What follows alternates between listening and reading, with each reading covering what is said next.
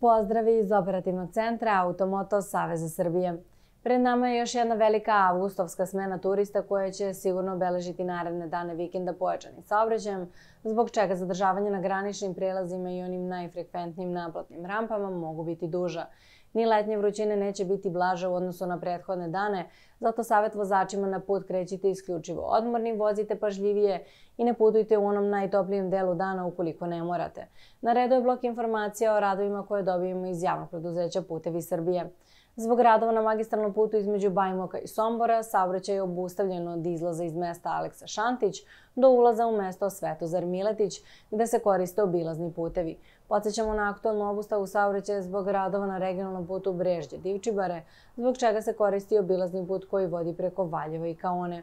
Zbog radova je obustavljen saobraćaj na regionalnom putu između Jošaničke banje i Koponika, zbog toga se ka ovoj planini koriste pravci koji vode preko Brusa ili Rudnice. Usporenu vožnju treba očekivati zbog radova na sanaciji klizišta između mesta Mijoska i graničnog prelaza Goston, zbog kojih se saobraćaj neizmenično propušta. Do 1. novembra biće obustavljen saobraćaj i zbog radova između Pazarišta i Tutina. Kod mesta Nadumce zbog toga treba koristiti obilazne puteve, a produženi su i radovi na putu Ribariće tunel posle skretanja za mesto Paljevo, zbog kojih se saobraćaj odvije neizmeničnim propuštanjem vozila.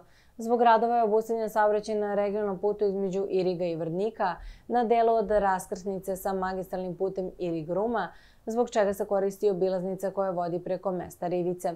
Prema podacima Uprave granične policije na našim putničkim terminalima, saobraćaj je pojačan zbog toga se na najopterećenijim prelazima Horgoš, Kelebija, Batrovci, Šid, Gradina, Gostun, Kotroman i Prešavo, zadržavanje registruje od 30 do 60 minuta, a koje povremeno mogu biti i do 120 minuta. Međutim, na ovo vrijeme treba dodati i vreme koje se provodi i na prelazima kod naših suseda, a koje je uvek duže. Umor kod vozača nastaje postepeno, a manifestuje se pospanošću i usporenom reakcijom, što dovodi do iznenadnog gubljenja kontrole nad vozilom. Veliki broj korisnih informacija možete pronaći na našem sajtu amss.org.rs, ali i na našim društvenim mrežama. Vozačima srećan put!